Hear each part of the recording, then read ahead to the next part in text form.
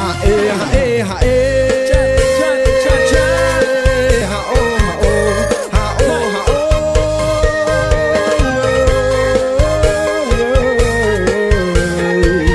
និយាយរឿងចៅភូមិនិយាយមកបងស្តង់ដានិយាយរឲ្យស្មាត់គេឿម្ដងងកំពូលចៅគេចាប់បាន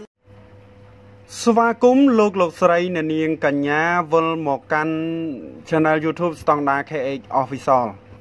នៅថ្ងៃនេះ Standard KH Official មានជា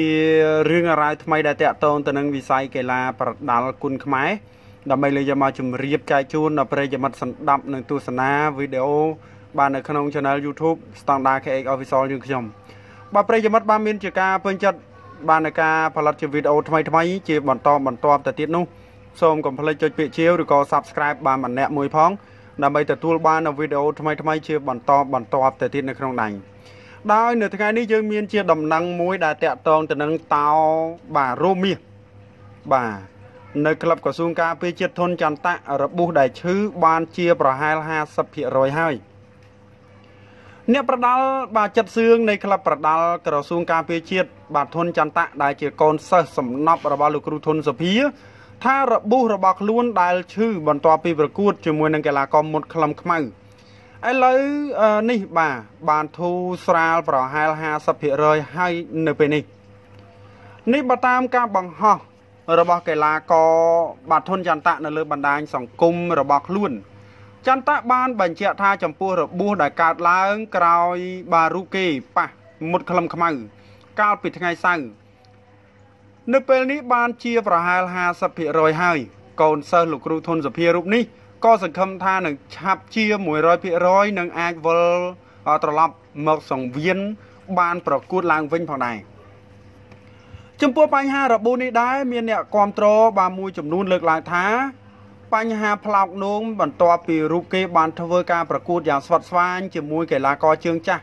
មុតក្លឹមខ្មៅនៅសង្វៀនបាយ័នកាលពីបានថ្ងៃសៅរ៍សប្តាហ៍មុនបច្ចុប្បន្នចន្ទៈកំពុងព្យាបាលនៅមន្ទីរពេទ្យមិត្តភាពខ្មែរសូវៀត អញ្ចឹងតាក់ទងទៅនឹងបាទរឿងរ៉ាវនេះប្រិយមិត្តបាទធនចន្ទៈបាទធនចន្ទៈបាននៅមានរបួសក្រោយពីបាទយកជ័យជំនះទៅលើកីឡាករបាទមុតក្លឹមខ្មៅឃើញថាស្វាត់ស្វាញណាប្រិយមិត្តបាទគូនេះវាយគ្នាល្អមើលបាទវាយគ្នាល្អមើលឃើញថាអឺបដូរគ្នា បាទប្រាវទៅប្រាវមក ហើយខ្ញុំក៏ទទួលស្គាល់ដែរធនចន្ទៈមករយៈពេលចុងក្រោយនេះគាត់ល្អឡើងធនចន្ទៈអានឹងនិយាយការពិតអញ្ចឹងនៅក្នុងប្រភេទតម្ងន់ធនចន្ទៈអែមក្លឹមខ្មៅឬក៏មុតក្លឹមខ្មៅវាយនៅពេលបច្ចុប្បន្ន63.5 65អញ្ចឹងនៅពេលបច្ចុប្បន្នកីឡាករដែលឈរនៅក្នុងប្រភេទតម្ងន់នេះក៏ពិបាកហូបកីឡាករទាំងពីរនឹងដែរអានឹងខ្ញុំនិយាយការពិតមុតក្លឹមខ្មៅគាត់ធ្វើបានល្អហើយប៉ុន្នេះមិនមែនថាគាត់អន់ទេដែលគាត់ចាញ់ធនចន្ទៈក៏ប៉ុន្តែគឺ ធនចន្ទៈទេដែលអ្នកឡើងអានឹងនិយាយការពិតគាត់ឡើងណាគាត់ឡើងជើងដល់ពេលអញ្ចឹងទៅក៏មុតក្លំខ្មៅប្របាកដែរបាទប្របាកលេងជាមួយចន្ទៈចន្ទៈគាត់ឡើងមែនតើមករយៈពេលចុងក្រោយទទួលស្គាល់ថាចន្ទៈកំពុងតែអុកឡុកដែរប្រិយមិត្តបាទសំបីដល់ផលសភ័ណ្ឌហ្នឹងក៏ប្របាកលេងបាទជាមួយនឹងចន្ទៈដែរប្រិយមិត្តអាហ្នឹងខ្ញុំនិយាយការពិតហ្មងសំបីតែផលសភ័ណ្ឌក៏ប្របាកលេងបាទជាមួយនឹង ណាអឺស្ដេចតោរោមាសបាទធុនចន្ទៈដែរបាទធុនចន្ទៈដែរអញ្ចឹងប្រិយមិត្តអរគ្នាបាទតាក់ទងទៅនឹងព័ត៌មាននេះចូលរួមបាទខមមិនលើកទឹកចិត្តដល់កីឡាករបាទធុនចន្ទៈម្នាក់មួយផងហើយក៏សង្ឃឹមថា បាទធុនចន្ទៈនឹងវិលត្រឡប់ បាទមកសង្វៀនវិញ នៅក្នុងពេលបាទអាចឆាប់ឆាប់ខាងមុខនេះ បន្ទាប់ពីវាយជាមួយនឹងបាទអែមខ្លងខ្មៅឬក៏មុតខ្លងខ្មៅចប់ គឺមានបញ្ហារបួសបាទធ្ងន់